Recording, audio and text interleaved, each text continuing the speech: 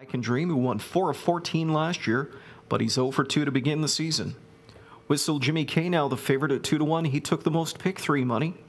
Fresh off a win in week one of the series, Ben Wallace, the trainer, has to be pleased with what this guy's done in limited starts.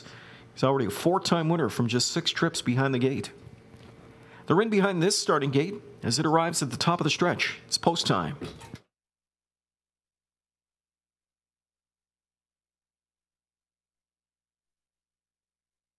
Fifth race picks up speed. Here they come.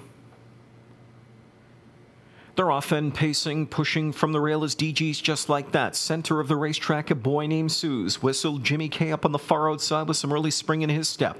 Up into fourth is verbalized, taken back to fifth inside Dragon Seelster. Sixth one back drops in ER True Value, followed by YS Lotus. Credit Refusal. Second from last is Really Wanna Win. Trailing's Given Up Dreaming. Into the first turn, Whistle Jimmy K found the front but verbalized. Comes on as he goes into attack mode. 27 and 3 the opening quarter. A boy named Suze a witness to the battle from back in third. So they move across the tunnel. They're into the backstretch now, and Mayotte clears as he's put Verbalize right up on the engine. Verbalize into the backstretch. Whistle Jimmy K pocket sits. A boy named Suze was third, but here he comes gearing up. Whistle Jimmy K beat him to the punch. JD had to grab up here on boy named Suze as he races up into third. Now he's back on the gas pedal as to the front went Whistle Jimmy K. And a boy named Suze is challenging. A boy named Suze zips by 56 and 1 the first half. Whistle Jimmy K back into second now. Third outside, first overtime for DGs. Just like that. Three wide is YS Lotus. He's going to have a long trip around this final turn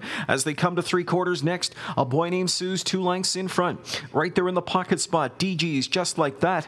YS Lotus outside from third. Whistle Jimmy K gaps at the rail fourth now. Overland fifth is Dragon Seelster as he's gapped slightly off his cover. Three quarters up in 123 and four, top of the stretch. And on that lead is a boy named Suze. Second to the inside is DG's just like that. YS Lotus from in third as they come into the final eighth of the mile. And it's still a boy named Suze on top. The lead three lengths. Back to second, DG's just like that with YS Lotus in third. Coming on in fourth is Credit Refusal. Here's a boy named Suze to win his division of the snowshoe by open lengths. A boy named Suze in front, very tight for second, either on the outside, closing up YS Lotus, or at the rail, DG's just like that, 152 and 2 for a boy named Suze.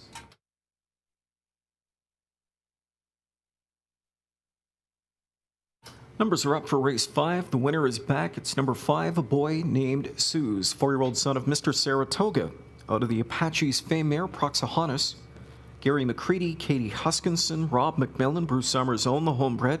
McMillan trains, and Jonathan Drury, the winning driver. First win in two this year for four-time winner, a boy, two and two.